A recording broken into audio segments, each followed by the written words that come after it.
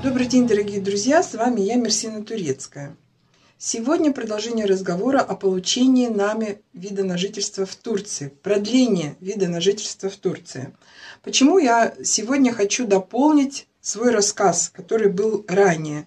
Потому что поступает много вопросов, и само обсуждение тоже требует каких-то действий с моей стороны. Как я говорила, страховка, которую мы оформляем для этого ВНЖ, начинает действовать через полгода – но при экстренных случаях, когда необходима прям срочная госпитализация там или еще что-то, да, вот, когда мы как бы как скорую помощь вызываем, она действует, но опять же на усмотрение страховой компании. И когда пройдет полгода, то какие-то вот заболевания можно по этой страховке тоже полечить. А, опять же, это все в клиниках, где огромные очереди. Попасть туда ну, невозможно. Поэтому а, надеяться на эту страховку медицинскую, на этот медицинский полюс, а, надежды очень мало. Ее фактически нет. Легче обратиться в частную клинику. Там будет сразу все очень быстро сделано, как бы оперативно, и будет оказана помощь необходимая вам. И вы получите полностью весь спектр услуг медицинских за краткое время, а не будете ждать эту очередь, выжидать, когда же вас все-таки врач примет. По поводу подачи документов за два месяца до окончания вида на жительство. Многие наши знакомые э, зациклились на том, что мы теряем эти два месяца, раз мы идем а, в ГИОЧ за два месяца, да, оформляем страховку за два месяца, там а, рандеву назначаем, значит, мы теряем два месяца. Это большое-большое заблуждение. Никаких двух месяцев мы не теряем. Что происходит за два месяца до окончания вида на жительство? Вы оформляете страховку по окончанию той страховки, которая у вас есть на сегодняшний день. Вот наша страховка заканчивалась 5 января 2024 года. И вот следующую страховку мы оформили с 4 января. Вот накладка была один день, с 4 января по 3 января 2026 года. То есть мы же вид на жительство получили на два года. Да? Два года нам дали. 24, 25 и 25, 26. Вот 24 с января 24 по январь 25. И с января 25 по январь 26. Вот на два года нам дали э, вид на жительство. И страховку мы, естественно, оформляли на два года. И ровно по дате оформления нашей страховки нам дали вид на жительство. Но поскольку это продление, там все должно совпадать. Дата к дате должна совпадать. Там не должно быть э, никаких перерывов. А если вы будете сами оформлять страховку на сайте e и кометсигорта.ком, то при ее оформлении вы будете созваниваться со специалистом, и она вас спросит, когда у вас первоначальная страховка заканчивается, и с какого числа вы должны оформить вот эту страховку на продление. Ошибки там быть не должно. Просрочек по датам при оформлении медицинской страховки на оказание вот этих неотложенных медицинских услуг быть не должно. И вот эту консультацию вам даст специалист, который с вами свяжется на этом сайте. Там есть телефоны. И она же дает дополнительные скидки. Кому что-то непонятно, посмотрите мой первый ролик. Продление нашего ВНЖ трудности при продлении ВНЖ в Турции. Кто-то из подписчиков написал, что получение ВНЖ в Турции – это привилегия, а не э, как бы условия самого покупателя. То есть покупатель, когда покупает квартиру, не может ставить условия «я куплю у вас квартиру, но вы мне дайте ВНЖ». Хотя, наверное, в Турции все возможно, поскольку здесь поскольку здесь вот этот вот рандом существует, то есть индивидуальный подход к каждому человеку.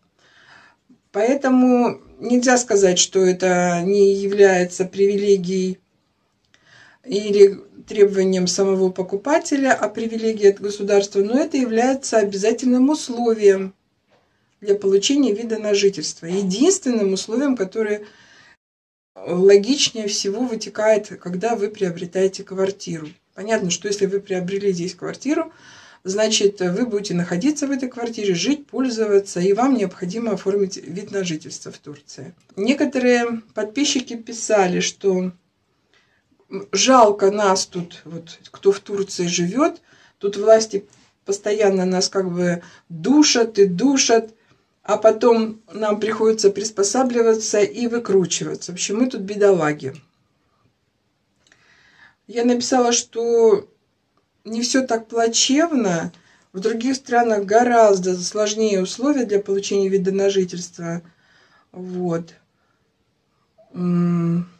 И, конечно же, это был наш продуманный, осознанный шаг, как написал один из подписчиков, что, конечно, мы не под э, принуждением покупали здесь недвижимость, а для того, чтобы мы здесь купили недвижимость, мы, наверное, сначала подумали, приехали, посмотрели, подходит ли нам Турция, не подходит, и потом только совершили вот этот обдуманный шаг.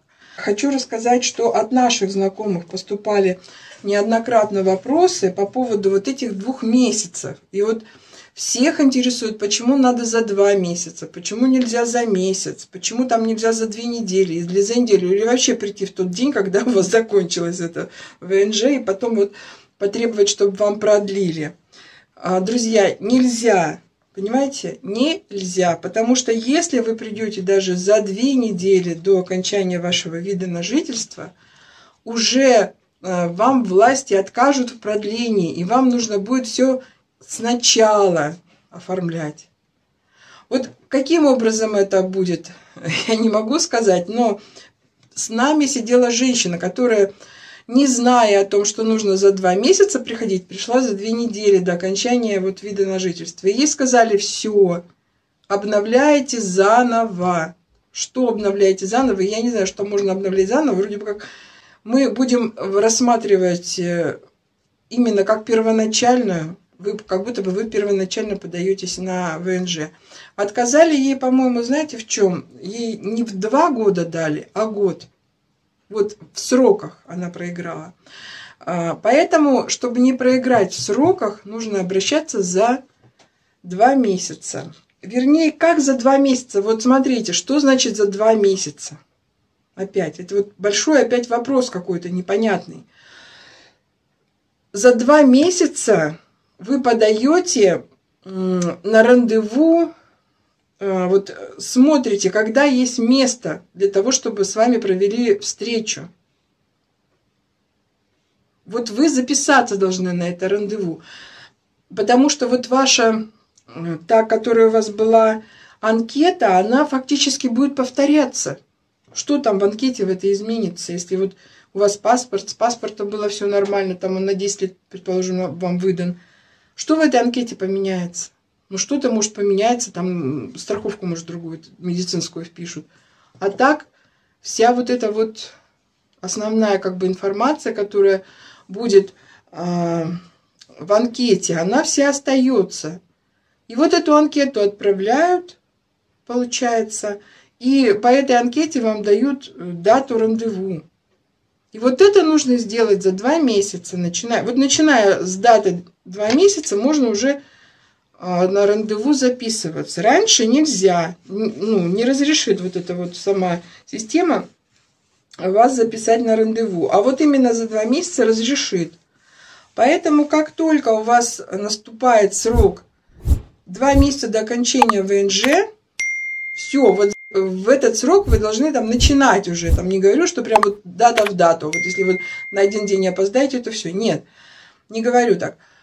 Вот как только заканчивается два месяца, и вот за, после этого вы начинаете собирать документы, уже можете собирать справки, оформлять страховую, а, медицинскую страховку. Все это нужно уже делать, подаваться на рандеву, и ждать. Вот, и ждать срока рандеву. Неважно, когда вам назначат это рандеву. Вот у нас же получается, как вот было. А, у нас два месяца до окончания, это было 5 ноября. потому что у нас ВСЖ было по 5 января 2024 года. А 5 ноября это как раз было два месяца до окончания нашего вот этого вида на жительство. Вот, давайте посчитаем обратно, да? Ноябрь, декабрь, декабрь, январь. Все правильно. С 5 ноября до 5 декабря и с 5 декабря по 5 января. Два месяца до окончания нашего ВНЖ. А, мы думали, сидим такие и думаем, наверное, нам должно прийти какое-то смс-сообщение о том, что, друзья, у вас через два месяца заканчивается ВНЖ, начинайте собирать документы. И вот так мы думали неделю. А через неделю наступило какое-то 12 или 13 ноября, а где, э, и вдруг я вспоминаю, говорю, а где это смс-сообщение, что у нас через два месяца заканчивается ВНЖ? Никакого смс-оповещения о том, что у вас заканчивается ВНЖ, и вы должны принять решение, то ли вы будете его продлять, то ли вы не будете продлять, никакого смс-сообщения вы не получите. Вы сами должны помнить, что за два месяца вы должны уже обращаться или к помогайке, которая вам поможет оформить анкету и направит ее в ГИОЧ, значит, службу да, по работе с мигрантами. Или вы сами будете это делать, начиная вот э, за два месяца. Итак, наступило 13 по ноября. Мы вспоминаем о том, что нам, оказывается, уже даже уже меньше двух месяцев наступает. Мы звоним нашей помогайке, она нам говорит, да-да-да, все-все-все, давайте все, все мне документы, там опять вот этот вот список, который я вам говорила в, первом, э, в первой передаче, а, в первом ролике. Мы это все собрали и отдали. Мы это все быстро собрали, потому что это все было повторение, повторение того, что было до того. Поэтому все, что мы повторили, фактически все, у нас все документы уже были на руках. А, оформили мы медицинскую страховку, тоже ей отправили – и нам рандеву назначили на 23 ноября. Мы уже сидели в Гетче 23 ноября. Да? Все. Это уже оставалось до нашего окончания вот этого вот э, ВНЖ оставалось меньше уже двух месяцев, там месяц с хвостиком оставался, ну пускай полтора месяца. Все, мы уже сидели в Гетче, у нас уже все документы были. Но не значит, это не, не говорит о том, что вам ВНЖ дадут на полтора месяца меньше или на два месяца меньше. Нет. Вот у вас приняли документы, и продление вы получите после окончания вашего вида на жительство. То есть у нас вид на жительство заканчивался 5 января, все, продление мы получили там с 4 января. С 4 января 24 года по 3 января 26 года. Поэтому вы не теряете ни одного дня, ни одного месяца. Если вы пойдете за два месяца раньше, вы наоборот, во-первых, э, себя успокоите, что у вас уже на руках-то бумажная ВНЖ у вас уже будет, такая как справка, понимаете? Они же, когда вы выходите от них, у вас уже на руках есть на А4 распечатанное ваше ВНЖ. Если оно одобрено, то оно одобрено. Вам распечатано и дано в руки. А сам пластик приходит только после, вот когда у вас дата наступает. То есть бумажку вам сразу дадут. То есть мы получили эту бумажку 23-го мы были, нам сказали, помните, да, донести еще что-то. Мы там донесли, как сейчас помню, нам нужно было со справкой разобраться, там подпись человек не поставил, и распечатать цветную копию а, того, что мы заплатили за электроэнергию. Мы это вот принесли 24-го. На рандеву мы были 23-го. 24-го мы принесли эти документы и э, принесли квитанция о оплате, об оплате налогов. Все. И как только мы зашли, без очереди, он сказал, приходите без очереди. Вот мы к нему зашли, он у нас эти документы забрал, еще раз все проверил и дал нам уже бумажечку.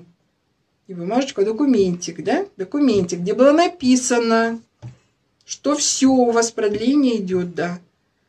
Вот. Вот такое же все самое, только на бумажке. с подписями, там, с печатями, все как положено.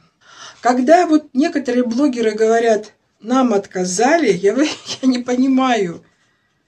Вот они заплатили налоги. С какого перепугу-то они налоги заплатили? Если, например, нам не отказали, нам сказали сразу, идите платите налоги, все, мы вам одобряем. То есть у нас уже одобрение сразу идет. А у них как-то странно получилось. Я согласна, что они медицинскую страховку купили. И вот там они деньги потратили. Я согласна, да. Но там ее можно сдать. Но как они заплатили налоги, я вот я не могу этого понять. Ведь чтобы заплатить налог, вам вот этот вот специалист на рандеву должен сказать, сколько вы должны заплатить налога. Он дает маленькую такую бумажку, где написано сумма налога, с которой вот идешь в кассу, и там уже показываешь, вот такая вот у меня налоговая сумма получается. Как? А тут я, получается, смотрю некоторых блогеров, а вот плакались, да, блогеры с Прибалтики. Не с Прибалтики, э, ну да, с Прибалтики, получается, с Эстонии. Что они потратили много денег впустую. Как они потратили? Они сами, что ли, этот налог пошли заплатили? Я ничего не могу понять. То ли они все это в электронном виде делали, абсолютно не записывались на рандеву, у них не было встречи. Я не могу этого понять. То есть, как они потеряли деньги, непонятно. Вот сама ситуация непонятная. Может, там в Алании там другие какие-то законы. Вроде бы как все одинаковые. У всех все одинаково. Записываешься на рандеву, идешь приходишь, отдаешь все документы, если у тебя продление. Тебе, если одобряют, значит, тебе дают бумажечку, где ты должен идти налог заплатить. Если не одобряют, значит, не одобряют сразу. Сразу не одобряют. А если одобряют, уже дают вот документ на А4, распечатанный, все. И там написано, что у вас продление идет, то вот у нас до 26 года. Теперь, значит, были вопросы о том, как нам принесли вот эти вот или где мы их сами ходили, получали? Или что мы с ними, как, как мы их получили? Потому что, я же говорю, у нас рандеву закончилось 23 числа. 24 числа мы донесли документы, ноября. Все, и мы сидели ровно, сидели декабрь, все, со спокойной душой причем сидели, потому что у нас уже на бумажном носителе уже продление было. Мы только ждали пластик. Что с пластиком? Наступил январь месяц. Пластик у нас уже все, получается, обнулился. Мы ждем пластик мы никуда не уходим, сидим дома. Нам сказали в Гёче, что поскольку у вас продление, вам пластик принесут через 2-3 дня. Его быстро принесут, не так, как вот когда вы только-только оформились, там нужно ждать две недели, там потом его приносят. Ну и как бы там так сказали, мы ждем, сидим 2-3 дня. Вот, проходит 2-3 дня, никакого пластика нет, мы уже запереживали, думаю, да что же это такое? Ну, нету ничего, сидим дальше, все, сидим. А потом пришло нам смс-сообщение, это было 10 числа, то есть прошло сколько дней? Да, где-то 6 дней, получается, прошло. И нам пришло сообщение вот такого вот характера с почты, э, с почты Турция свидетельство о разрешении на иммиграцию, выданное на ваше имя, было принято 10 января со штрих-кодом таким-то и будет доставлено вам как можно скорее. Вот эта почта нам прислала. Такое смс-сообщение. Все. После того, как мы его получили, мы вообще успокоились. То есть на почту уже наша, э, наш комет, Кимлик, уже поступил. Осталось только дождаться, чтобы его принесли домой. 13 января, где-то часов 12 дня, нам принесли наши вот эти кемляки. Так что имейте в виду, что в субботу, хотя сама почта не работает, но кемляки разносят. Поэтому надо сидеть, да, не уходить никуда. Все, на этом вот история закончилась. Мы вот сейчас сидим, все спокойно. У нас, да, продление на два года. Вот эта карточка, она может как кемлик называться, так и комету, потому что у нее здесь вот название есть и комет, и еще есть, тут же встречается вот кемлик буквально ниже. Что сейчас происходит? До нас только доходят слухи, что сейчас э, на самом деле перестали выдавать вообще, даже продление давать на два года, ужесточили как-то это все. Кому отказывали, если вот э, продление? Вы напишите в комментариях, чтобы хотя бы мы знали, кто так пострадал от, от того, что вот отказали в продлении. А, причин отказа в продлении ВНЖ может быть несколько. Во-первых, сам паспорт, который у вас, загранпаспорт, если он у вас заканчивается за полгода до окончания вашего вида на жительство, то есть если у вас, например, а, планируемый вид на жительство у вас бы закончился в январе 26 года, а паспорт действительно до февраля 26 года вам не дадут ВНЖ на два года. Он должен еще полгода быть действителен. То есть это так должно быть. Например, вот ВНЖ до 26 года, до января. Значит, паспорт должен быть действителен до июля, до 7 месяца 26 года. Вот тогда дадут. То есть полгода еще паспорт плюсом должен быть действителен. Это первая причина, чаще всего, мне кажется, которая встречается при отказе в ВНЖ. Вторая причина – это нарушения. Нарушения, которые были зафиксированы за человеком. Что может быть в эти нарушения входить? Штрафные какие-то вещи. Может быть, не вовремя там с машинами, если человек с машиной, да, что-то, может быть, не сказал вовремя, там, не поставил вовремя, не оповестил, часто уезжал был в стране меньше, чем вот э, получил вид на жительство и отсутствовал, а потом пришел еще продляться, а его фактически не было. Он зачем вообще это делает? Это тоже может быть э, причиной отказа в продлении вида на жительство. Вот. Он там, по правилам, вы можете отсутствовать э, в году что-то три месяца или четыре месяца вы можете отсутствовать. А все время вы должны здесь находиться, раз вы получили ВНЖ. А, конечно, отказом, причиной к отказу может быть несвоевременная уплата коммунальных услуг, за коммунальные услуги, если у вас долги. Какие-то другие нарушения. Все это приводит к тому, что два года ВНЖ вы не получите. Были такие случаи среди наших как бы знакомых, что не давали на два года, только на год. Поэтому, когда вот плачутся и говорят, что хотели на два года, отдали на год, или хотели на год, отдали на полгода, везде нужно искать подводные камни. Везде какие-то есть причины того, что отказывали. В общем, каждый случай индивидуален. Просто так, мне кажется, не должны отказывать. Если все как бы человек соблюдал, не выезжал, нигде не был замечен, не нарушал. Вот. Так что тут такая ситуация непонятная. Но если у кого-то такое вот было, что отказали, то да, напишите, интересно. И не забывайте про эти два месяца. А на этом я прощаюсь с вами. Всего хорошего. Пишите комментарии. Оставайтесь на моем канале. Подписывайтесь на мой канал. Всем пока-пока. И хорошего настроения. До новых встреч. Всего-всего самого наилучшего.